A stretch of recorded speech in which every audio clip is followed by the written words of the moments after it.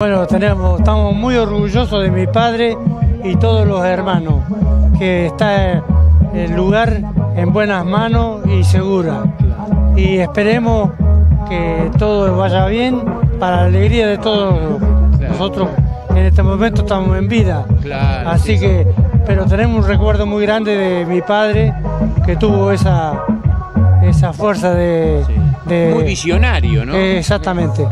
Así que por ahora les puedo decir que de emoción a veces las Claro. palabras no salen, Sí. pero mu- mucha alegría de que estén en buenas manos Claro. este lugar. Ahora estamos tranquilos también todos. Claro. Estamos tranquilos porque está en bien. Bueno, qué, qué gran satisfacción para ustedes participar de esta mañana en este acto, ¿no? Yo quiero decir misión cumplida, nada más. Eso era mi padre lo que él le gustaba, Claro, de que sí, los sí. niños tuvieran lugares para estar. Sí, sí. Todo lo hizo y el Consejo Escolar.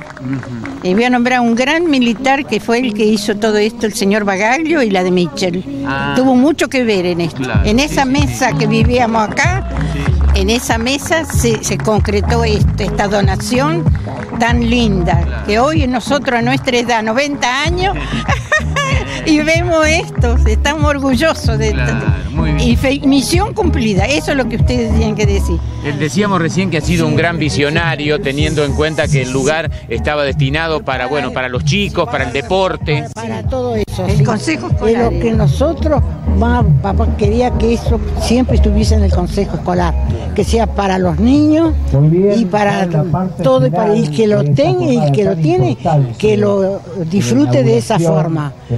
Todo que sea para el Consejo Escolar. Bueno, el intendente ya anunció las obras que muy pronto se van a realizar también, ¿no? Ah, sí, siento sí. muy feliz. Otras palabras no puedo decir, pues ya lo han dicho ellos, pero me siento muy agradecida y feliz de todo lo que han hecho.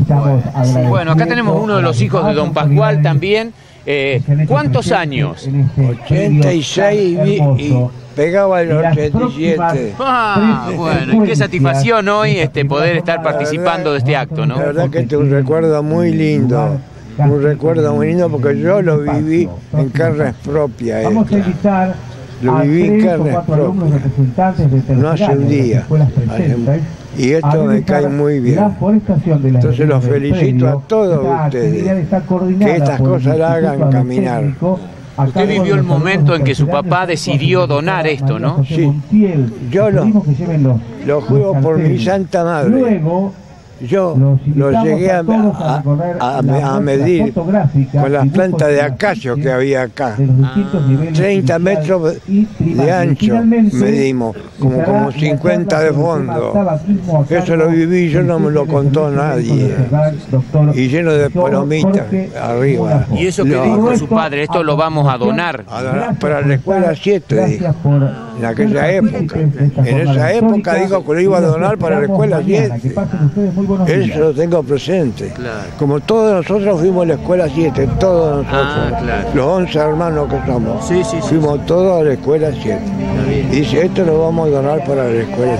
Quedó así, por supuesto. Sí, sí, sí. Después de ahí para adelante no sé más nada. Bueno, pero hoy ya está la tarea cumplida. Así, tal cual, tal cual, tal cual. Bueno, una satisfacción acompañar a los hermanos, a las hermanas también en este acto, ¿no? Por supuesto. Además, este, lo tengo más presente que nunca a mi padre, porque él siempre quiso que los chicos jugaran en esta quinta. Nosotros éramos 11 y acá hasta una canchita de fútbol teníamos. Y los chicos del barrio y nosotros, que ya éramos muchos, nos juntábamos y jugábamos. Y el viejo parece que eso lo, lo- lo vio con, con anticipación y, y donó el terreno por eso, para que siempre hubiera chicos, que siempre estuviera eh, gente jugando, bueno, y, y es un deseo de él, así que yo estoy contento por él. Y, y por mí, por supuesto, y, y me alegro que esté en buenas manos. Así que muchas gracias por todo a ustedes. Así que llevan adelante un deseo de mi padre y de todos nosotros. Gracias, señor.